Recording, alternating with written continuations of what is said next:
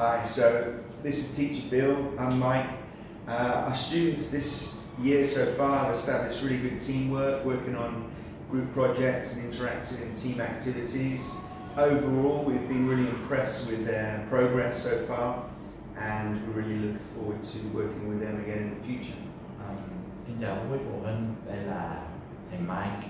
Thì uh, xuyên suốt khóa học thì thầy Mike uh, có một số nhận xét đó là các bạn viên đã um, thành lập được những cái ờ, uh, teamwork ở trong lớp và um, có sự tương tác với nhau trong những cái giờ học thì uh, tóm lại tóm tắt tóm lại là thầy đã rất ấn tượng với uh, uh, sự uh, của quá trình học tập của các bạn và thầy cũng mong đợi cho sự phát triển của các bạn trong tương lai With Min, uh, overall he's doing really well. Sometimes uh, he needs to pay a little bit more attention to detail um, in some of his written work.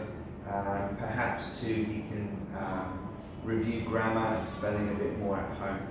Um, về Minh thì bạn uh, về phần chung thì bạn có cải thiện rất là nhiều trong uh, uh, xuyên suốt quá trình học thì uh, bạn chỉ cần uh, ôn tập thêm về ngữ pháp và chính tả của mình uh, tập trung hơn trong giờ học một tí But overall, uh, yeah, he's doing great. He's very friendly, attentive, and helpful. Uh, gets on well with his classmates. So yeah, he's doing great. và trong giờ học uh, thì bạn rất là hòa đồng thân thiện uh, hay giúp đỡ bạn bè và uh, học rất là tốt trong lớp Thanks.